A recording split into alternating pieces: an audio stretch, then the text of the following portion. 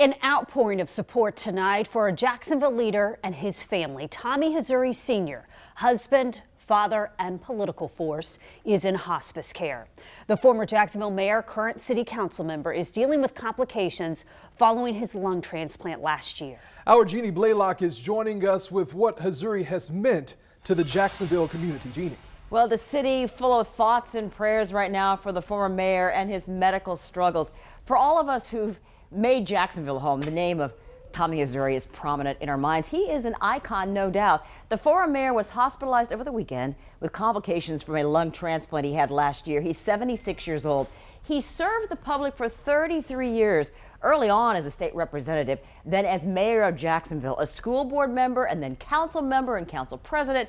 As mayor, he got voters to support a half cent sales tax to get rid of those unpopular toll booths. You may remember those at some of our bridges. You can still in your mind, if you remember to see him standing by a toll booth as it was literally blowing up to shreds. And he also pushed through legislation that cut odor pollution to help Jacksonville get rid of that awful stigma of being the city that smelled bad. He has accomplished a lot. Joining us now is uh, Tommy Hazouri's cousin and former First Coast News anchor and reporter Donna Deegan. And Donna, we appreciate your being with us tonight. I'm so sorry to hear this news. And I guess what I want to start with is, is what does your family want the community to know about his health tonight? Well, I, I know that uh, I know that Tommy is incredibly grateful for all the thoughts and prayers and well wishes and everything that's been sent his way. Uh, I, I know that he made a comment that his uh, lungs may be failing, but his heart is full.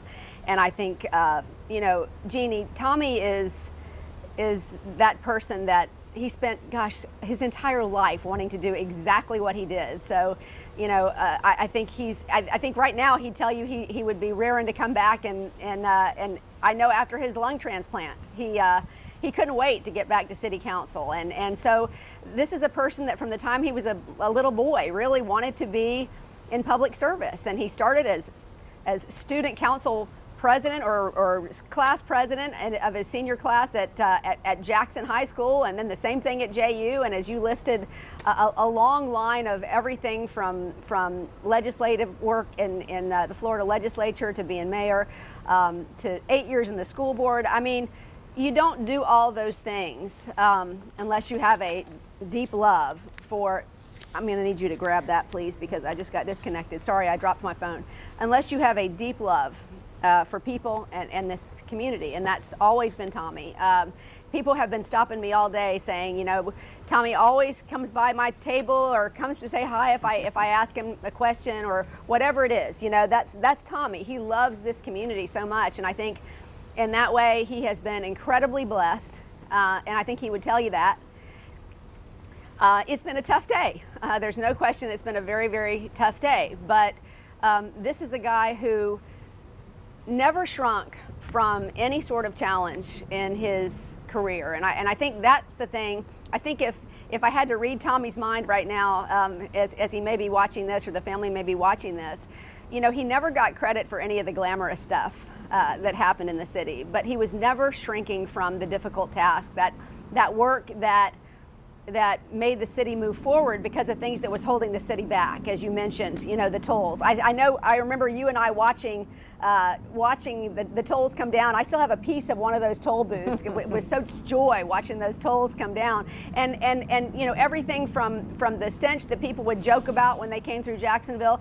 He tackled a, a really tough garbage issue, which at the end of the day was advised not to do, and that was, um, he said, no, you, you know what, it needs to be done, and it, and it probably lost him re-election. But that's when you know you're dealing with somebody who loves the city and loves the work and wants to do the right thing when he was never concerned about political expediency. He always just wanted to do what was best and still mm -hmm, does for mm -hmm. Jacksonville. That's, that is Tommy. And I, I just, um, I love him to death, and, and I know that all of us are, right. are praying for him and for Carol. Absolutely. And, um, and I, I just, uh, I would say this, um, you know, I don't know anybody, and I know, I know he's family, but I'm just going to say this. I don't know anybody when you line up that many years of public service. Um, I just don't think there's another resume that really stands no, up to it. Just, and uh, and um, he, he's just he's just a wonderful human being, and we love him. Well, Donna, you can't say it any better than that. Beautifully spoken, and, and that last sentence you said, we love him. I mean, The whole town appreciates what he's done, whether you've been here for years or you've just got to Jacksonville. And our hearts and our prayers are with you. And we appreciate your coming down here to talk with us live tonight. Thank you so much, Donna.